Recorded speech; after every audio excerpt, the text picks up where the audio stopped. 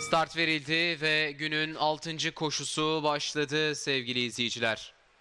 Orta kulvardan gelen 8 numaralı Yaren Yar liderliği almaya çalışıyor. Hemen dışına 3 numaralı Büyük Düş geldi. Şimdi liderliği o alıp farkı 2 boya kadar çıkardı. İkinciliğe de dıştan 5 numaralı İtaatsiz geldi ki o bununla yetinmedi. Temposunu arttırdı. Son 800'e girilirken liderliği aldı.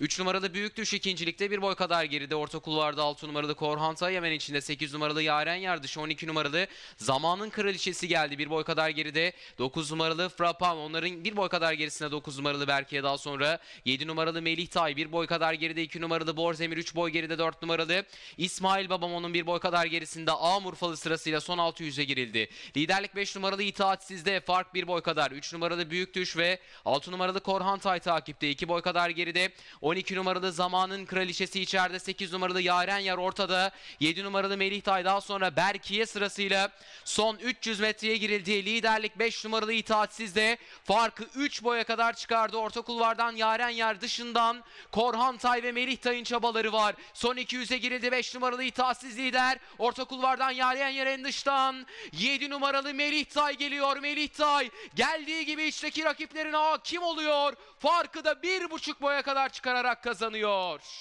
5 numaralı İtaatsiz ikinci oldu. 8 numaralı Yaren Yar üçüncü olurken 6 numaralı Korhan Tay dördüncü. 1 numaralı Amurfalı da yarışı 5. olarak tamamladı. 7 numaralı Melih Tay Hüseyin Şimşek'le 6. koşuyu kazandı.